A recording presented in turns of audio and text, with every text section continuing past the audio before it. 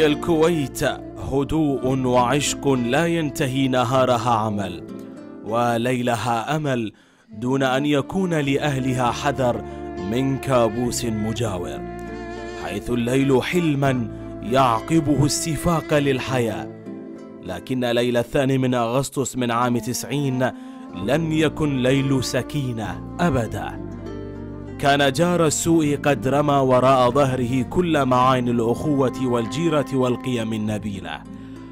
وجاء يسعى كأفعى امتلأ نابها بالسموم ليلة سوداء انتبه الكويتيون في آخرها على دوي رصاص الخيانة.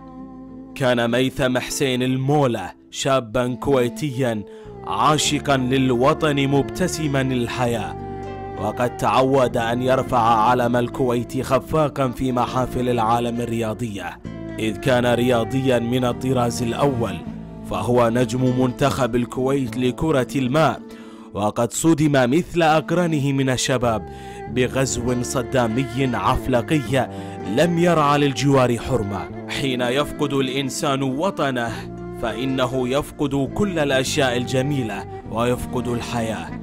لم يتوقف ميثم عن الحركة طوال الأيام التي عاشها تحت وطأة الغزو وفي حكم الغزاة لأنه كان يرى الوطن عيونا باكية وقلبا جريحا.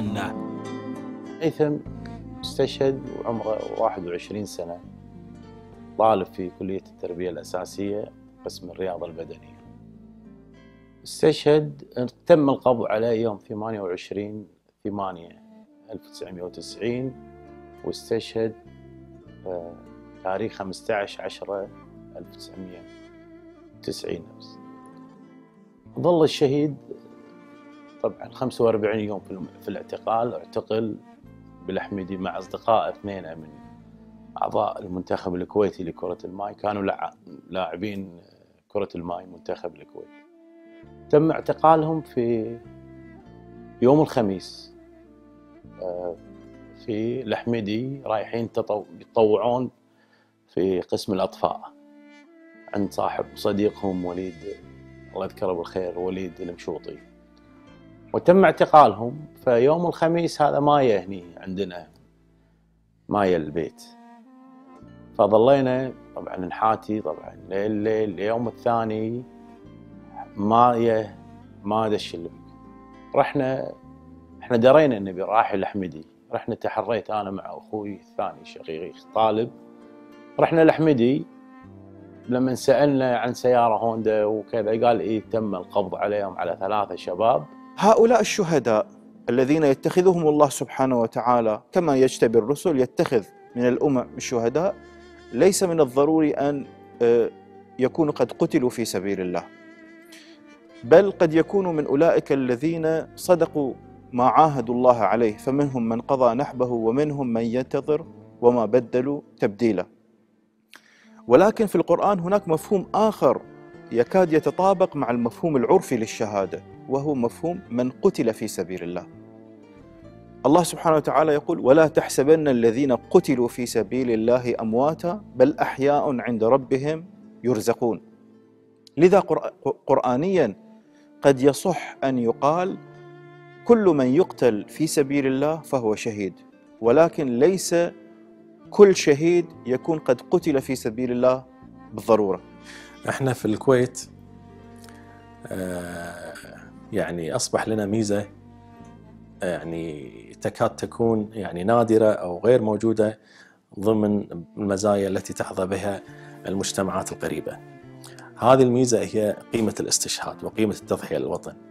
آه، الآن يعني المجتمع الكويتي آه، لديه هذه القيمة. هذه القيمة يفترض أن إحنا آه، كمجتمع سواء حكومة أو برلمان أو يعني آه، رجل شارع يفترض أن يكرس هذه القيمة ويتعاطى معها بالشكل الصحيح. لما صار الغزو شوية حتى قبل الاعتقالات كان يقول لي كلمة صبر أمي وأبوي. أقول إيش تبي تسوي؟ إيش تبي هذا؟ أقول لا انت مالك شغل.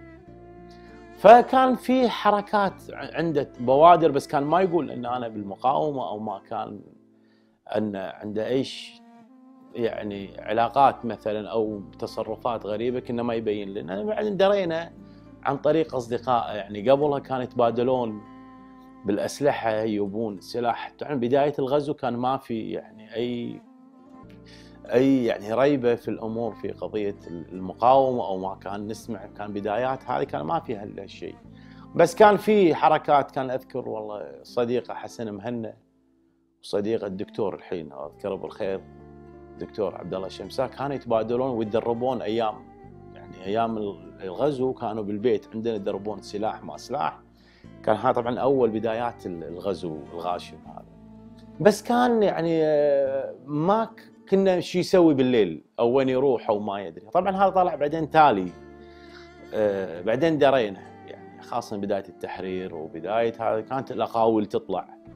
لما كان في بغداد لأن اعتقلوه ودوه لبغداد من بغداد ودوه إلى إلى شو اسمه السجن آه، المركزي. هناك اتصلوا علينا أذكر يوم السبت كان. دقوا علينا تلفون. قالوا لنا ولدكم ترى موجود وأنا شلت التلفون وتقدر تزورونه وتجيبوا له غدا وتجيبوا له أكل. على أساس إنه متى؟ يوم الاثنين. الساعة 6 الصبح يوم الاثنين حسب الموعد. والله سمعنا طلق نار عند الباب. سمعنا طلق نار. إحنا قلنا مثل إطلاق النار العادية اللي نسمعها يوميا يعني. الوالد الله يرحمه طلع. شافه عند الباب بس على طول مسكوه الجيران. الله يذكره يرحمه سعدون سعدون البدر جارنا وعيال البنديري اللي هالصوب كانوا مسكوه ما خلوه كانوا تو طالعين من صلاة الصبح فشافوا سيارة مالت العراقي أو مالت العسكري الالات العسكرية تدش الفريج مالنا. فعطوا سكروا الفريج اثار طلقتين وحدوا ومشوا. فاحنا طلعنا شفنا طبعا أنا شفت الموقف شيء ما أبي أذكره يعني شيء محزن يعني. تشوف أخوك طايح وكذا وهذا. خلال هالفترة طبعا لما رحنا إحنا المستشفى الأميري كان السائق الإسعاف عراقي كان يقول لنا إذا سألوكم لأن في لازم المشكلة ما تقدر ترفع الجثة يعني تشيلها إلا بإذن من قائد المنطقة. قائد المنطقة اللي ماسك منطقة الشعب. لازم تاخذ ورقة منه. يحقق مع يحقق معاك يعني. فهذا قال لي سايق الأسعاف كان يقول لي أي شيء يسألونك قول ما أدري ما أعرف. أنا تفاجأت يعني ما أدري. كنت بقول يعني. فالتحقيق لما يوم يحققون يعني كنا هو ما سوى شيء. طبعا يحقق يقول لك شنو أنت علاقتك مع المتوفي هذا؟ أقول له والله هذا أخوي تشك في أحد انه قاتله وتشك. هم نفسهم طبعا أنا أقول لا والله ما أشك. ما أشك بأحد يعني. يعني تتهم أحد. طبعا هم لازم يسجلون. القائد المنطقة يسجل. على أساس إنه يسمح لك إنك تشيل الجثة وهذا. طبعا إحنا شلنا الجثة يعني بعد خلصنا الإجراءات هذه. ف ودنا المستشفى. من المستشفى للمقبرة وهذا. الأخبار تطلع بعدين لما صار التحرير طلعت وايد أشياء مثلا إنه والله الشهيد عبد الحميد خريبوط آه، استشهد بحضن ميثم في بغداد من التعذيب. فلما يا يا ميثم يا الكويت يا من يابوه على أساس الإعدام ما إعدام فهو بلغ الشباب الكويتيين اللي كانوا موجودين قال لهم ترى الشهيد عبد الحميد استشهد في بغداد. إذا أنا بلغت طلعت حي أبلغ. إذا إذا ما طلعت أنتم بلغوا أهله. فكانت الأخبار تطلع بعدين بعد التحرير اللي يو الشباب يذكرون إنه والله ميتم كان معنا في المعتقل الخارجية، كان في معنا معتقل في مجمع بيبي وكنا مع بعض وطلع وهذا وإحنا طلعنا. وكان هو من النوع اللي يقولون قصص يعني عنه. ممكن هالقصص يمكن أنا ناسيها يعني. أنه كان وايد يناشب الجيش العراقي في ذاك الوقت ينرفزهم داخل وكذا. ف هذه علاقته الشهادة. أما بالعلاقة الرياضية آه، دخل المنتخب آه، إحنا كنا نلعب كرة ماي كلنا كنا نلعب آه، ليه 87 كنا فريق تضامن يعني. هو كان صغير أصغر منا أنا اعتزلت اعتزلنا في 87 لما انتهى الفريق مالنا شوية خذوا ميثم من النادي ودخلوه المنتخب في 85 86 خذوه المنتخب. وقت الاعتقال أذكر اثنين لازم أذكرهم. اللاعبين وياه فيصل الحساوي وخالد الشواب هذول كانوا معاه في وقت الاعتقال. بعد يومين هذول طلعوا. لما طلعوا قلنا لهم سألناهم يعني عن عن ميثم. كان يقول ميثم اعترف على نفسه وقال إن ربعي ما لهم شغل. والسيارة هذه سيارة طبعا هو السياره كانت باسمي أنا سيارة سيارتي أنا بس هو كان يستخدمها. فهذول يطلعوا وبعدين شفناهم بعدها آه، لما يو عزوا ميثم في إثناء الاستشهاده فبلغوا لنا بلغونا يعني الأحداث اللي صارت في المعتقل والتعذيب اللي تعذبوا اللي تعذبوا في في في سجن الأحمدي وغيره. وهذا ودوهم إلى بعد إلى إلى, إلى الرقة مدرسته بالرقه فالحالات هذه كانت طلعت بعدين. يعني تزيدنا شوية من من شوية شوية شجاعة تعطينا وتعطينا بعض النخوه وتعطينا الأكثر هو الحزن على هال على أخوك مثلا. يستشهد وكذا وذكريات حلوة قضيناها معه من أهم صفات العدو الذي يجب جهاده هو أن يكون معتديا وباغيا مبتدئا بالتجاوز والعدوان كما فعل قابيل مع أخيه هابيل إذ قرب قربانا فتقبل من أحدهما ولم يتقبل من الآخر قال لأقتلنك. قال إنما يتقبل الله من المتقين. لئن بسطت إلي يدك لتقتلني ما أنا بباسط يدي إليك لأقتلك إني أخاف الله رب العالمين. وكلام هابيل لا يعني أن لا يدافع عن نفسه. وإنما بمعنى إن استخدمت يا قابيل إن استخدمت قدرتك بسطت إلي يدك اليد بمعنى القدرة في القرآن يد الله فوق أيديهم يعني قدرة الله فوق أيديهم. لئن بسطت الي يدك لتقتلني إن استخدمت القدرة التي أعطاك الله سبحانه وتعالى في الاعتداء والبغي علي فلن أستخدم هذه القدرة في الاعتداء والبغي عليك وإنما سأكتفي بالدفاع عن نفسي فقط. أسر الشهداء لا يبحثون عن عن عن مادة ولا يبحثون عن تعويض مادي، لا هم عندهم القناعة الكبرى إن الكويت تستحق أكثر من أن يقدمون أبنائهم. ولكن أيضا أسر الشهداء تتساءل لماذا يعني الشهداء وأبنائهم أو أبنائهم الشهداء يعني محرومين من التكريم؟ اسر الشهداء تتساءل. لماذا لا يوجد نصيب من تسمية الشوارع لشهدائنا؟ اسر الشهداء تتساءل. لماذا تخلو مناهج وزارة التربية من سير أب... سير وأسماء أبنائنا؟ وسير الشهداء تتساءل. لماذا يعني لا يوجد مثل ما قلنا قبل شوية أعمال أدبية وأعمال سينمائية لا لماذا لا يوجد متحف؟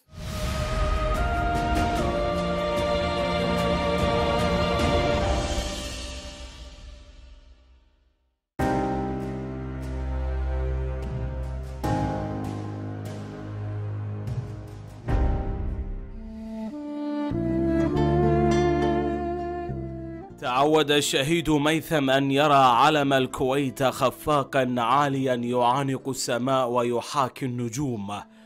وكلما حقق بطولة رياضية في المحافل الرياضية كلما زاد اعتزازه وفخره بأن يرى علم بلاده مرفرفا في الأفق.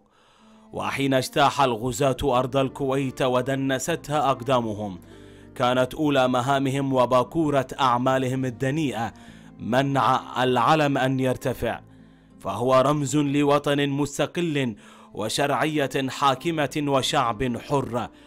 وغياب هذه المعالم تغييب لكيان متكامل ولم يستطع الشهيد ميثم أن يحتمل اختفاء رفرفة العلم من سماء الوطن. وحين ألقي القبض عليها كانت تهمته أنهم وجدوا في سيارته منشورا يطالب المواطن بالتمسك بشرعيته.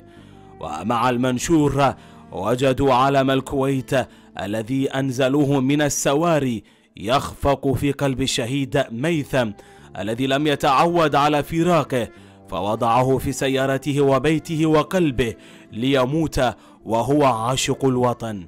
الشهداء بال- الشعب عندنا مثلا الله يرحمه الشهيد إبراهيم آه، مشعل الخليفي استشهد. وعندنا الله يرحمه وليد آه، آه، وليد إسماعيل الراشد. عندنا بدر القطان عندنا ميثم المولي. هذول من الشهداء أربع شهداء اللي كانوا في المنطقة عندنا يعني.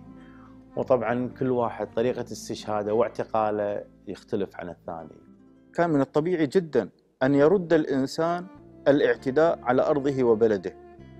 وهذا ليس بحاجة إلى تلقين وتثقيف. من يعتبر أن بلده هو بيت الكبير هو بيته الكبير فكما يدافع عن بيته ويتصدى لمن يريد اقتحامه عنوة هو كذلك يدافع عن أرضه وبلده. الله سبحانه وتعالى يقول فمن اعتدى عليكم فاعتدوا عليه بمثل ما اعتدى عليكم واتقوا الله واعلموا أن الله مع المتقين. تكملة الآية بالغ الأهمية. فمن اعتدى عليكم فاعتدوا عليه بمثل ما اعتدى عليكم، قاوموه وارفضوا وجاهدوا بمثل ما اعتدى عليكم. ولكن شنو تكملة الآية؟ واتقوا الله واعلموا أن الله مع المتقين. يعني طالما أنتم لا تتحولون إلى معتدين إلى بغاة إلى آه، إلى من آه، يعتدي بأكثر مما اعتدي عليه ها؟ لأن في آية أخرى الله سبحانه وتعالى يقول ومن قتل مظلوما فقد جعلنا لوليه سلطانا فلا يسرف في القتل إنه كان منصورا. جمعية آه، تم إنشائها في عام 1998 بعد ما كان هناك حاجة ملحة إلى آه، وجود آه، أو دخول أهالي الأسرة في عملية تحديد مصير الأسرة اللي تم أسرهم بعد تحرير الكويت من الغزو العراقي الغاشم. آه، أهالي الأسرة كانوا يعني قلقين وكثيرين آه، يعني ال- ال- الحسرة على أبنائهم والدولة يعني أناطت بقضية الأسرة إلى جهة حكومية وهي اللجنة الوطنية لشؤون الأسرة والمفقودين. ولكن هذه اللجنة يعني آه، كانت يعني لا يوجد فيها تمثيل بمعنى التمثيل الكبير من أهالي الأسرة ولذلك آه، تداعوا أهالي الأسرة إلى يعني التحرك آه، شعبيا ومن خلال مجلس الأمة في آه، تلك الفترة. وتمخضت هذه التحركات بتعاون حكومي وبرلماني بإنشاء الجمعية وإشهارها في 1998 أول شهيد بالمنطقة اللي علم هو ميثم في- يعني الوحيد اللي جابوه بالمنطقة آه، عدموه عند الباب قتلوه عند الباب. أما الباجي طبعا يو آه، الرفات مالتهم طلعوا أخبارهم بعد التحرير يعني بعد سقوط آه، صدام حسين. وبداية ال- الغزو شنو سوينا؟ شلنا الإعلانات ال- ال- العناوين اللي موجودة بالشوارع. شلناهم على أساس خفنا إن عندهم البعض الجيش عندهم عناوين عن ربعنا أو أهلنا أو جيراننا خاصة العسكريين يدورون عليهم. الأهالي والبلدية حتى البلدية كلهم كل منطقة يعني بالكويت أهاليها هم كانوا آه، دولة بذاتها. دولة نظامية سياسية كانت. كانت اجتماعية كانت اقتصادية هم كانت رياضية. كنا نلعب كرة بعد بال بال بالبراحة عندنا في ملعبنا. كنا نلعب كرة نستانس يعني شو نسوي القعدة وبالليل قعده عندنا. بس طبعا عندنا حظر التجول كنا ما نطلع. حظر التجول هذا يعني كنا يعني خلاص أهالينا يخافون علينا أكثر ما نحن نخاف على أنفسنا يعني. في كلمة قالها حق الوالدة أذكرها. فقال لها يوم من الأيام تبي تشوفيني بدمي عند الباب. بس لا تبكين أنا شهيد. هذه الكلمة طبعا ما ما انساها حتى قلت له لا تقول حق أمك كذي. قال أنت صبرها. يعني تخيل أخوه الصغير يكلم أخوه العود إنه بدال لا أنا أصبر أو أنا لا هو الصغير هو اللي قاعد يصبرنا إحنا كلنا. فكان عنده أشياء يمكن كانت بالمقاومة بعدين درينا. طبعا ندري إنه كان يطلع ويدش بس كان ما يقول ما يتكلم. كنا يخاف علينا. طبعا إحنا طلعنا من منطقة الشعب بعد استشهاده. رحنا منطقة بيان. فقعدنا هناك للتحرير. لما صار التحرير طبعا جابوا لنا جرايد أو إن أخبار آه، يعني جرايد كانت يبو يبوا لنا من الصحف الخليجية إن يذكرون اسم ميثم يذكر- يذكرون اسم الشهيد أحمد قبازرد إن في اليوم كذي نصادف كذا. الحكومة بعد التحرير طبعا آه، ما قصروا معنا طبعا. يو الحكومة على سلم الله يرحمه الشيخ جابر آه، قام في تعزيتنا. عزى بيت بيت شهيد. ومكتب الشهيد لا يزال يعني يقدم مساعدات حق فترة الله يرحمه الوالد أو فترة لا زالت مع ال- الوالدة. آه، خدماتهم مستمرة في خدمة مثلا أسرة الشهيد إذا كان الشهيد أعزب وإذا كان الشهيد مع لا أولاده وكذا. فالأمور آه، يعني كانت محزنة في ذاك الوقت يعني. وشيء مؤلم. وإن شاء الله الله لا يعود تلك المأساة على على الكويت وعلى أي بلد عربي كان. قضية نقلة الشهيد من من البيت إلى المستشفى من المستشفى إلى المقبرة هي يعني حتى أذكر أن طبعا إحنا شيعة اللي صلى عليه خالد الشطي سني جارنا. فكانت اللحمة الوطنية هذه اللي كانت يعني عززت عززت مكانة الكويت مكانة شعب الكويت. هذه العادات والتقاليد لازم إحنا ما ما ما نتركها ليومنا هذا الوحدة الوطنية. ماكو شيعي سني ال- ال- الغزو ما فرق بين المذاهب.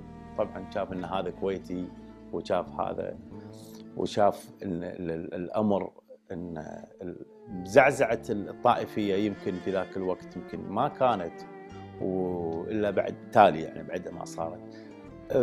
رجعنا العزاء طبعا رجعنا البيت سوينا عزاء ثلاثة أيام. طبعا ثلاثة أيام أصدقاء الأهالي ربعه اللي كانوا معاه اللي كانوا مثلا اللي موجودين. الخبر طلع حتى في الإمارات أقرأ ذكرت إن الجريدة بيان ذكرت ان كان كل عملية كل كل شخص كويتي يستشهد كان على طول يبلغون برا الكويت. وكان الناس الأهالي ينط- ينطرون الحكومة الكويت كانت تذكر الأسماء هذه تدرج عندهم إنه. آه قعدنا ثلاثة أيام عزاء يعني كنا في رعب صراحة. خفنا على السيارات كانت تجي كنا الامر عندنا يعني مثل العزاء الطبيعي في الأجواء الطبيعية. فكانوا العراقيين إيه موجودين دار مدارنا يحرسون ويشوفون شنو رد الفعل من أي شيء يصير في آه، أي حادث آه، يصير عندنا أو رد فعل من ال- الأهل الميت أو من أصدقاء الميت. فظلينا ثلاثة أيام العزاء الصبح وعصر كان. آه، لما يعني خلص العزاء وعلى طول إحنا طبعا رحنا مشينا ورحنا منطقة بيان. أنا زرت كل جميع جميع أهالي الشهداء وأنا اللي أبلغتهم شخصيا باستشهاد أبنائهم ورأيت ولمست وعرفت إن هذه الفئات كلها كيف كانت تفتخر وبالأحرى مؤمنة يعني العطاء لهذا البلد. ووجدت يعني ال- ال- ال- ال- القبر الجماعي اللي وجدناه في السماوة وفي الرمادي وفي كربلاء وفي العمارة كان ال ال ال يعني ال- العظام الكويتية كان فيها عظم. أنا آسف إني أقول ما أبي أقول الأسامي. ما أبي أقول التصنيفات لأني ما أحبه. كان عظم هذه الفئة مع هذه الفئة مع هذه الفئة متراكمين فوق بعضهم وإحنا جبناهم وكانوا قد قتلوا وأعدموا في لحظة واحدة. فبالتالي هم شركاء في الدم شركاء في المصير شركاء في المقاومة شركاء في التضحية. لا يمكن بأي حال من الأحوال أن الشعب الكويتي يعني ينفرز. وإحنا جميعا أسرة واحدة متداخلين متناسبين وبإن شاء الله تحت يعني هذه القيادة الحكيمة التي يعني شغلها الشاغل أن يعني لا تمس الوحدة الوطنية. الغزو عندما اجتاح الكويت كان يزعم أن أهل الكويت هو من استدعاه وطلب منه ذلك لرفع المظلومية عنه. لكن لم يجد من يؤيد زعمه. لم يجد في الكويت من يؤيد تلك المزاعم الباطلة. المقاومة في الداخل وعلى الأرض والتفاف مختلف أطياف المجتمع في الخارج حول القيادة واجتماعهم في الطائف ثم تنقل الوفود الشعبية من بلد إلى آخر لشرح الموقف الشعبي الكويتي. فضح هذه المزاعم مزاعم العدوان الصدامي الغاشم. والتناغم بين الموقف في الداخل والخارج أثار تعاطف الناس مع مظلومية الشعب الكويتي في مختلف أنحاء العالم وسهل مهمة قوات التحالف للقيام بالتصدي المباشر لهذا العدوان. فإذا لا يمكن أن نفصل المقاومة الميدانية على الأرض عن بقية الجهود فبالتأكيد كان لها دور مهم ولكن أيضا بقية الجهود كانت مكملة وأيضا أساسية.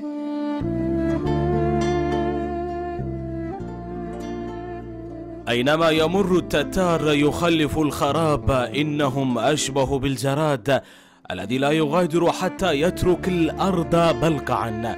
لم تطأ أقدامهم جزءا من أرض الكويت إلا وتركته قاعا صفصفا. ولم تفرق بين كويتي وكويتي في جرائمها. حيث كانت الهوية الكويتية فيصلا في الضرر وكل من كان يعشق الكويت دفع ثمنا لعشقه.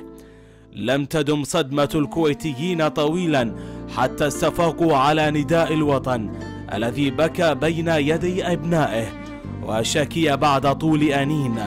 هي أيام برزت فيها الوطنية بأبهى صورها. وبرز المواطن الحق كما يتوقع أن يكون فمن يحتضن الوطن سوى أبنائه؟